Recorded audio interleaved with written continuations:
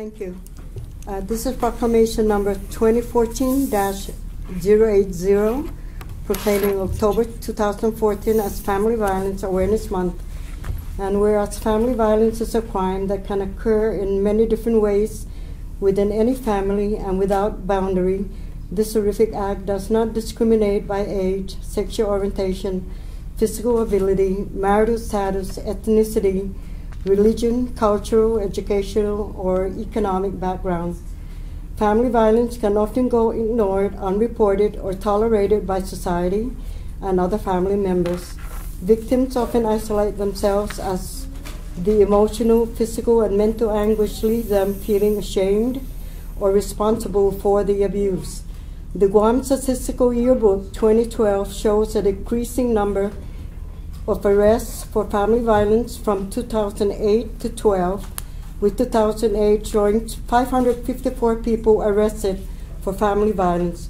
In 2009, 550 people were arrested for family violence. In 2010, 507, 2011, 404, and in 2012, 424 people.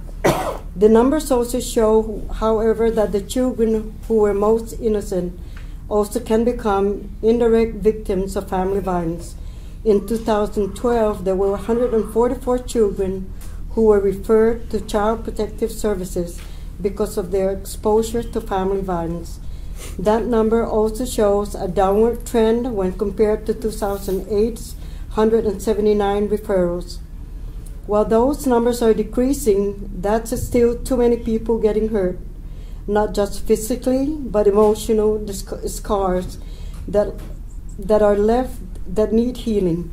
These victims deserve the best support and guidance from every service available through Guam's system of care as they work through the difficult healing process. It is through awareness campaigns like Family Violence Awareness Month that we, as members of our close knit community, can offer support for victims and help break the dangerous cycle of family violence.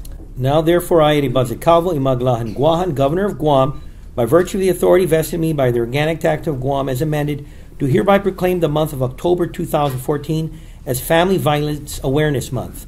Through the collaborative leadership of the executive and judicial branches of government and nonprofit advocacy groups, every member of this community is urged to take an active role in Family Violence Awareness Month. We must reach out to victims of family violence and spread the message that this crime will not be tolerated.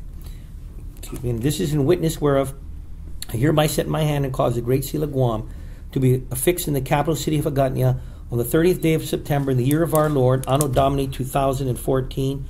This is signed by Eddie Baza Calvo Imagalan Guahan, Governor of Guam.